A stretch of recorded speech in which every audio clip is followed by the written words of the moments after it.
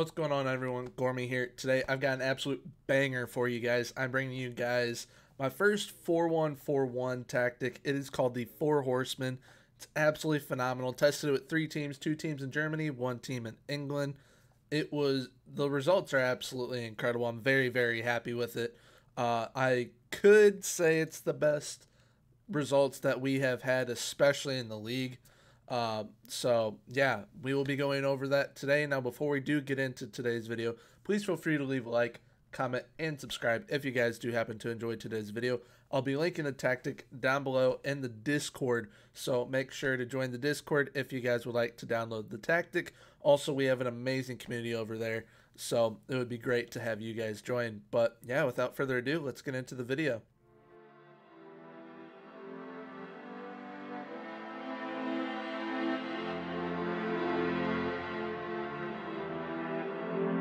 Right, so here is the Four Horsemen. That's what it will be called in the Discord when you guys go to download it, if you guys would like to download it. Now, we've got an advanced forward on attack. All that we added to him was shoot more often. He is kind of the main goal scoring threat for you, but because you got two wingers on attack and a central midfielder on attack, there are more goal scoring options for you still. So the wingers on attack both have aim crosses at center and shoot more often on. They are very, very good at doing their job. When I was watching over what they do in game, they're absolutely incredible. Now, the center mid on attack, all we added to him was tackle harder. So he's got get further forward on, which is the natural thing that a center midfielder on attack has on, and then tackle harder. We've got an advanced playmaker, although we added him, was dribble less. Ball winning midfielder, we left as is. We've got two inverted wingbacks, and we left them as is. And I, I was very surprised with how they played because they they still play very, very good offensively, even though they are inverted wingbacks and they come in, play around here more often than just flying up here. But when the time does come for them to get further forward, they definitely will for you. Then the central defenders on defend, that we added to them, was tackle harder. The goalkeeper on defend was left as is. We played with a positive mentality. Now, with the attacking width, we went a little bit wider. We pass into space. We play out from the defense. We work the ball into the box. We have dribble less on and a slightly lower tempo. Um, in transition, we have counter press, counter, distribute to fullbacks, and distribute to center backs, so distributing to the defense. And then out of possession, we have a much higher line of engagement, a standard defensive line, extremely urgent pressing intensity. And of course, with the set pieces, we've got the elite corner set pieces and elite set pieces overall. And let me tell you, they really, really showed out with this tactic, um, and especially with the three teams that we used. Very, very good. Uh, there will be a moment during the highlights of the in-game play where you see, I think it's like three set piece goals in one game. So it, it's very, very good. I highly, highly recommend. If you don't go for this tactic, definitely try out the set piece tactics. They're absolutely insane. I'll be linking them in the Discord as well. But now, without further ado, let's get into the team and player overview. All right, so the two teams that we tested with in Germany were Borussia Dortmund and RB Leipzig. They finished first and second.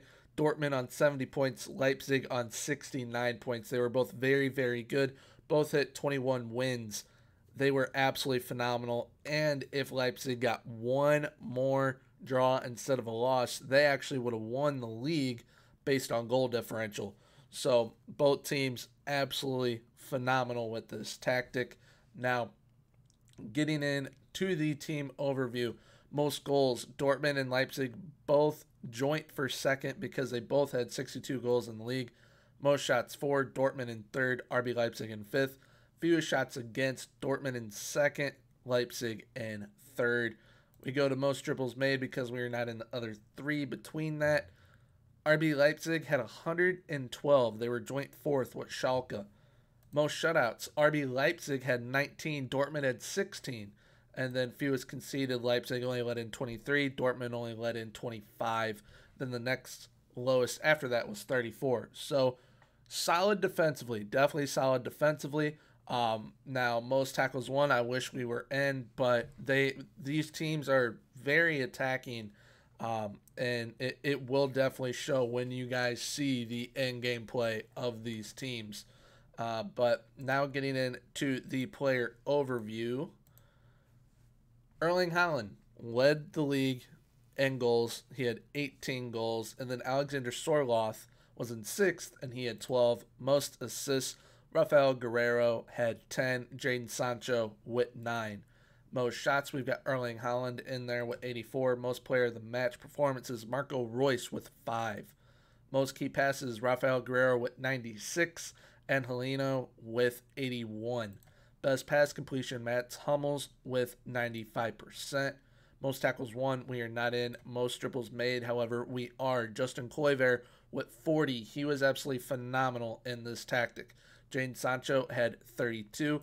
Most shutouts, Peter Gulácsi with 19. Roman Bürki in second with 16. Fewest conceded, Peter Gulácsi in second with 23. Roman Bürki with 25. So, like I said, overall tactic very, very good. Very, very happy with what these teams did here in Germany. And now let's look at what the squad did overall for these two teams. All right, so first we are looking at RB Leipzig. Alexander Sorloth had 19 goals. Marcel Sabitzer with 14. Justin Kluivert with 11. Yusuf Poulsen with 9. We've got Nkunku and Dayot Upamecano both with 7. Nordi Mukiele with 6. Kampl with 3. Dominic Szoboszlai with 3. Multiple others with 2 and a few with 1. So everyone chipping in in some way, shape, or form. Now, with Nkunku, he played the center mid on attack role, and as you can already see, he had seven goals, seven assists. Center mid on attack role is very, very important for this team. Make sure that when you are using this tactic, you have a player that can kind of do a little bit of everything for you, like a N'Golo Kante, a Sergei Milinkovic Savic, uh, because yes, they still do need to defend, but the playmaking ability definitely needs to be there. And a player like N'Golo Kante can finish from time to time. So even though their finishing may not be out the wazoo, still definitely give a player like that a go in that role, and they will definitely, definitely be a big boost to your squad. Now, assist wise, we've got Angelino with 11, Dani Olmo with 11, Dominic Szoboszlai with 11. These are very young players succeeding in a very big way, assist wise, with this tactic. So, th- this proves you don't need to have the elite of the elite. You can have a younger team and still get some very good production out of your players. Emil Forsberg had eight, and Nkunku, like I said, with seven. Sorloth, as the striker, had six. We've got Kluivert and Haidara both with five. Laimer with five. We've got Sabitzer with four, Mukiele and Poulsen with three, and a few with one. Now let's go over to Dortmund. All right, so we've got Erling Haaland with 27 goals, Marco Reus with 15, Jadon Sancho with 11, Thorgan Hazard with 8, Akanji and Brandt both with 5, Mats Hummels and Axel Witsel with 4, Thomas Delaney with 3, Zagadou with 2, and Multiple with 1. Now, assist wise, we've got Rafael Guerreiro with 19 assists. He played the inverted wingback role or as the center mid on attack. Both roles that he was playing, he was absolutely phenomenal in. Um, so it, it proves center mid on attack. They are an integral part in this tactic, and the inverted wingbacks, when given an opportunity, can still produce assist numbers for you when needed. Now, Jadon Sancho, he had 11 goals also had 11 assists. That's very nice. Marco Reus had seven. Thorgan Hazard also had seven. Erling Haaland, the striker, had six. Emre Can had five. He played uh, the defensive role, the ball winning midfielder role, and he was very, very solid. Uh, Julian Brandt had four assists. Giovanni Reyna had four assists. Axel Witsel had four assists. Jude Bellingham and Thomas Delaney had three. Munir with two, and a couple with one. So everyone, once again, contributing in some way, shape, or form. Um, it, it's very, very nice to see that even though it's a little bit of a different tactic, it, it works very, very well. And now let's get on to the English club. All right, so here we are with the English club. We tested it with Manchester City. They won the league with 86 points. They were absolutely phenomenal with this tactic. And there is a game that they won 8 0, which you guys will be seeing in a few moments. They were absolutely phenomenal. Now, Man City did only win the league, and I forgot to mention with the German clubs, Dortmund ended up winning the German Super Cup, and RB Leipzig won the DFB Pokal.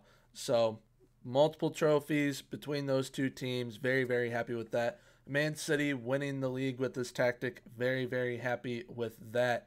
Now, getting into the team overview, we have got most goals. Man City had 91 coming in first, most shots for. They were in fourth. Fewest shots against, they were in second. Best pass completion, they were in seventh with 87%. Most possession, they were in eighth with 50. They're not in most tackles won, but most dribbles made, they had 169 finishing in first. Most shutouts, they were in second with 18. Fewest conceded, they were in second with 30. So overall, very, very good, and it helped them win the league. Now, for most goals, Sergio Aguero finishing in fourth with 18 goals. Most assists, Raheem Sterling joint first with 14. Kevin De Bruyne joint fifth with 11. Most shots, we've got Aymeric Porte in there in sixth. Most player of the matches, we've got Kevin De Bruyne in there with six. Most key passes, Kevin De Bruyne had 149, and he finished in second. And then Bernardo Silva finished in seventh, and he had 118. Best pass completion, we have got Aymeric Laporte in seventh. He had 95%. We were not in most tackles won or most dribbles made, even though the team had the most dribbles made during the season. Most shutouts, however, Ederson was in second with 18, and fewest conceded. Ederson in second once again with 30. All right, getting into the squad overall, Sergio Aguero had 24 goals. Raheem Sterling with 17. Would love to see him do that in reality for him. Uh, Kevin Bruyne had 11. Ferran, Torres had 10. Gabriel Jesus with 9. Ilkay Gundogan with 8. Aymeric Laporte with 8. Ruben Dias with 6.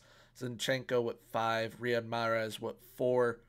Rodri with 3. Multiple players actually with 3. Rodri, Bernardo Silva, Joao Cancelo, John Stones, Fernandinho, Phil Foden with 2. Ake and Walker both with 1. Then we go to the assist numbers. Raheem Sterling not only had 17 goals on the season, but he had 19 assists as well. So if he could have a season like that in reality, everybody would freaking love him. Bernardo Silva had 14. Same with Kevin De Bruyne. We okay, Gundogan with 9. Joao Cancelo with 9. Kyle Walker with 6. Sergio Aguero with 5. Zinchenko with four, same with Rodri. Ferran Torres with three. Aymeric Laporte with two, same with Benjamin Mendy, John Stones, and Gabriel Jesus. And then Riyad Mahrez, Ruben Dias, Ederson, Phil Foden, and Fernandinho, all with one assist. So overall, Man City absolutely dominated in the Premier League just like they usually do. Uh, this tactic, though, they were something special uh, in game. So yeah, without further ado, let's see how this tactic does in game.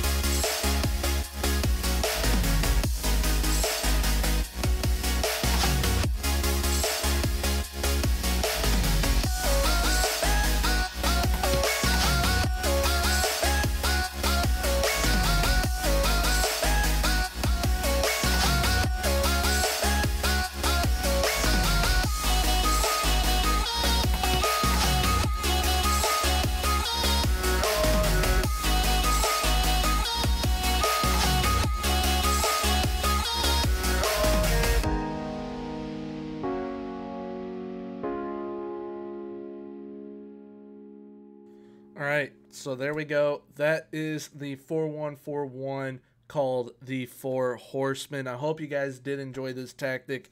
It absolutely blew me away on how well they did with having a striker that's pretty isolated up top and then having the wingbacks as inverted wingbacks and everyone contributed in every way shape and form so it, it's it was a very very nice surprise to have a tactic that worked this well with this setup and you have a team finish first and second in the same league uh, only separated by a point so that's absolutely phenomenal but if you guys did happen to enjoy this, please leave a like, comment, and subscribe. And if you guys want to download this tactic, like I said, it will be down in the Discord for you guys to download. But until next time, have a good one. Bye bye.